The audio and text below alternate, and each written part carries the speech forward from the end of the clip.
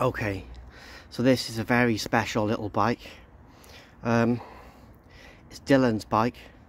Dylan is uh, sadly no longer with us. Um, he passed away when he was nine years old and his parents have very bravely and kindly said they'd like the bike to go um, on to another child so another child can can get joy from it the same way that um, that they say Dylan did.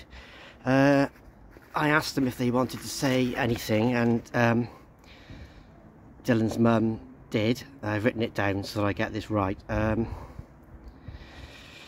uh, Dylan only just started getting back into his bike and loved it at Center Parcs, his favourite holiday. Riding with his siblings, he loved learning about how gears worked and how to put the chain back on if it came off.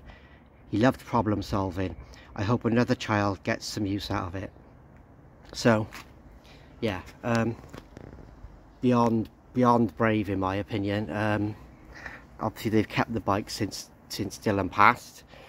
Um, I'm gonna make sure that it's passed on in Dylan's name. I'm gonna probably get it to a local school so that lots of children can uh, can get to use it and uh, as a bit of a legacy to Dylan really.